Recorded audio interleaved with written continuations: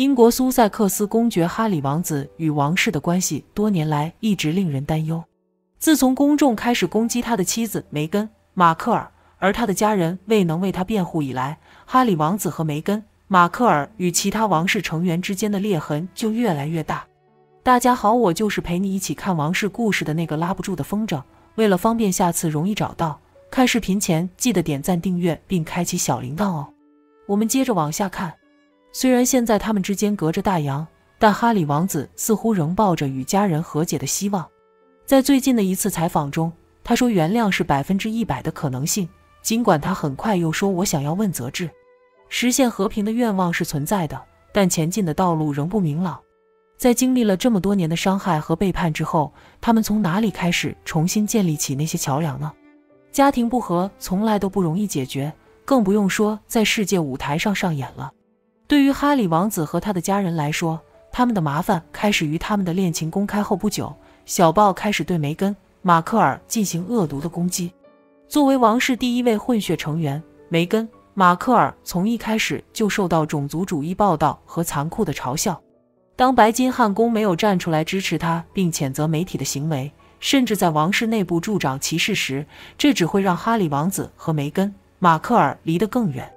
在奥普拉。温福瑞的采访中，哈里王子透露，他们的家庭成员几乎没有采取任何措施来遏制小报的疯狂，甚至还积极地向记者提供故事，以便让自己看起来更好。这是一个令人震惊的指控，加深了分歧。虽然他的父亲查尔斯国王和哥哥威廉王子最初对哈里王子和梅根·马克尔辞去王室高级成员职务的决定感到难过，但自那以后，他们的关系变得更加紧张。虽然哈里王子选择在媒体上曝光家族的丑事，但他的亲戚们却一直保持沉默，不愿参与其中。如果要达成和解，第一步必须是问责制。对哈里王子来说，这可能意味着他的父亲和哥哥要承认他们在他的不幸中扮演的任何角色，并导致他和妻子离开他的王室生活。在面对种族主义攻击时，未能支持梅根·马克尔，为此道歉可能对修复关系大有帮助。反过来，哈里王子可能需要认识到，他在国际舞台上一再批评他的家人，并公布他们生活的私人细节所造成的伤害。他想要澄清事实的愿望，可能只会进一步损害他的关系。更加谨慎地向前迈进将是关键。经过五年的动荡，挽救哈里王子与王室亲戚的关系需要双方的努力。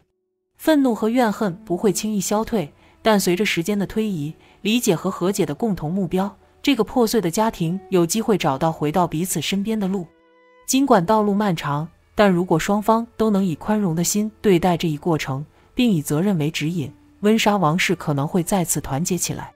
多年来，双方的分歧一直在加深，但也许他们站在一起的新篇章，无论多么不完美，仍然可以被书写。而哈里说着和解，这边的梅根又要出书，这次他的重点将是与凯特王妃相关的隐私。梅根放风说自己手里还有在王室那两年期间写的秘密日记，其中大量记录了一些和凯特相关的内容。他和哈里一向不是说话算数的人。上次想让查尔斯国王给莉莉贝特和阿奇王室头衔的时候，还信誓旦旦说再也不消费王室，不再制售与王室题材有关的纪录片和书籍，不再公开爆料王室的内幕。然而这才没过几天，根儿姐就开始啪啪打脸了。估计这事又揭不开锅了，毕竟最近他和哈里是干啥啥不成，丢人第一名。邀请名人参加孩子生日宴会，没人搭理他；想为迪奥做代言，人家怕他拉低人家品牌的档次；想参加皇室赛马会，国王没邀请他；想戴斯宾塞王冠，让哈里改为母姓，舅舅不接受。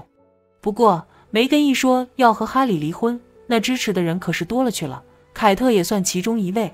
而且凯特当初还在媒体上公开表示要帮助哈里走出他那不堪的婚姻关系，而且考虑的相当周到，甚至于律师都帮他找好了。可惜这个哈里真是尿性，转眼就被梅姐给腐蚀了。看来梅根是舍不得哈里啊。所谓三年不开锅，开锅吃三年。英国王室还是有钱，梅根只要手头紧，就可以隔三差五的来敲敲竹杠，拿点封口费，一劳永逸。嫁给王子的生活真是倍儿爽。不过梅根这次打算拿凯特隐私来获取利益，能不能实现还是未知。他可能没有意识到，如果他敢以揭露凯特的隐私来谋取利益，王室将会请全球最顶尖的律师以诽谤、造谣和污蔑的罪名告他。况且，民众并不认为梅根能够揭示凯特有什么见不得人的问题，无非是一些生活习惯、性格方面的小事情，像凯特没把口红借给他用，或者他对凯特在家光着大脚丫感到吃惊之类的。这样的案例一旦曝光，只会显得他屁事太多。大家都很清楚，这些鸡毛蒜皮的小事情并不值得记在秘密日记里，而他梅根却一直有这种雅兴。毕竟他梅根的信誉在那里摆着，所谓的日记。他现编都来得及。以他口碑来讲，他爆料的凯特，即使真有什么见不得人的事情，大家也都会选择原谅。毕竟大家对待他和凯特的态度是有天壤之别的。梅根只在王室生活了两年，他又不是和凯特住在一起，而且凯特一直都不喜欢他，他能有什么见不得人的事情可以爆料呢？如果真有凯特的猛料，早就被曝光了。凭他的性格，也不可能瞒到现在。梅根一直都是自作聪明的人，他现在就是每天都在挖空心思，换着花样威胁王室。但大家都知道，王室是不会被他所威胁的。梅根就是抓住了王室不争辩、不解释的软肋。但是查尔斯国王也不是好惹的，老国王已经说过了，要和女王一样为国家服务到最后一刻。尽管王室现在没有了王权，但他们仍然是英国的象征。如果有人恶意伤害王室的荣誉，英国政府势必会为他们做出回应。至于他想爆什么猛料，就让他爆呗，谁不知道他是个撒谎精？大家实在闲了，看戏吃瓜就行了。小编个人的观点是，那句振聋发聩的王家回复，也许每个人的回忆有所不同，是出自凯特之手。难怪这句话在全篇我们对公爵夫妇所遭受的痛苦非常难过。你们永远是我们最珍贵的家人的软绵绵的讨好中显得如此不同，让人过目不忘。多亏凯特的力挽狂澜，不然梅根的信口雌黄就会在王家软弱无力的辩解中成了掉进裤子里的黄泥，不是屎也是屎了。要知道，现代社会中网络的力量是多么的强大。如果刻舟求剑的秉持女王不解释不抱怨的原则一成不变，也许今天的王室早就被哥姐单方面的指鹿为马所掀起的网暴击溃了。好在王家命不该绝，娶了凯特这位意志坚强。不被哥儿姐的讹诈所裹挟的中流砥柱，在关键的一局站稳脚跟，没有被这飞来的横祸打垮。而以为能靠着奥普拉访谈一战成名的梅根，却在回忆不同的反击中说的瞎话被不断扒出，甚至主教大人都亲自下场力证梅根撒谎。在王室的强硬回击下，梅根逐渐露出骗子的马脚，失去了民众的信任，一步退步不退，直到现在溃不成军。也许当初梅根没有选择凯特作为主攻对象。他也不会现如今就如此凉凉，速度之快令人目不暇接。怪就怪梅根选错了对象，惹错了人。他以为被他动不动就气得脸色铁青、浑身发抖的大嫂是软柿子呢，所以在奥普拉访谈中说别人都是模模糊糊的，点到为止，单单指名道姓的说凯特气哭了他，而且还心虚的提着小花篮主动上门求和。这还不算，还冷嘲热讽的把大嫂的外号“等待凯特”给曝了光。虽然并没有卵用的找不了一句他是好人，杀人诛心不过如此。他大概是忘了什么叫打人不打脸，骂人不揭短，或者是嫉妒让他面目全非。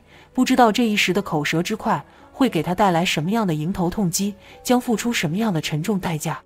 哥儿姐也不想想，当他还像没头苍蝇一样到处乱撞，吃了上顿没下顿，按他自己讲话。整天开着一辆门都打不开的破车，到处试镜寻找生计的时候，人家凯特早就嫁给王储主政后宫，格局要比他大得多。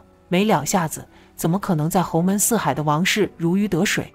梅根以为捏的是软柿子，没想到踢到了一块烧红的铁板。不知道梅根会不会后悔自己当初的有眼无珠？但是相信凯特一定会感谢哥儿姐的无理挑衅，让他风暴成长。经过这几年的风波洗礼。现在的王储妃有权有钱有人爱，甩天天焦虑哪里搞钱的老弟妹十八条街。好了，今天的视频就到这里了，你对王室有什么看法呢？欢迎评论区留言，我们一起探讨。别忘记订阅，开启小铃铛。小编在此万分感谢你的支持，我们下期再见。